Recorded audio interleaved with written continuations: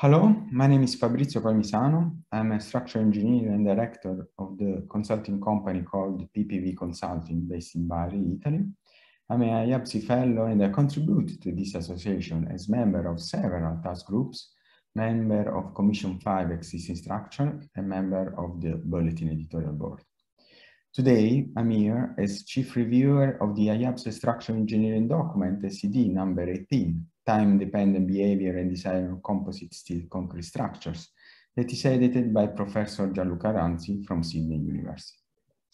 This book includes contribution from 18 authors. All of them can be surely defined experts in this field and well known in the international scientific and technical community. As member of IABSE Bulletin editorial board, I volunteered to review this book mainly because there are very few in the literature that deal with this topic. Creep and shrinkage, deflection and cracking are often regarded as secondary influences in design. Serviceability limit states are often considered in design only once ultimate limit states have been addressed, underestimating that in some cases, serviceability limit states significantly influence the conceptual design of a structure. Even if books like this are not easy to write, since huge theoretical and practical expertise is needed, my belief is that the authors for sure have succeeded in overcoming this challenge.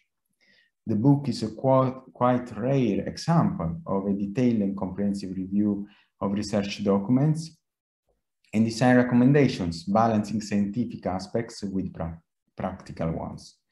This is why, in my opinion, it is very useful for practitioners as keep-on-desk manual to consult frequently in the working life. Thus, I would strongly suggest to get this in hard copy. I also suggest you to promote the book among colleagues, since I said before, I'm persuaded that it represents an uncommonly useful companion in the journey of our professional experience as curious and hungry structural engineers. I would like to conclude giving my sincere congratulations to all the authors of this IABSE structural engineering document, and especially to its editor, Professor Gianluca Ranzi, for this excellent piece of work. Thanks and goodbye.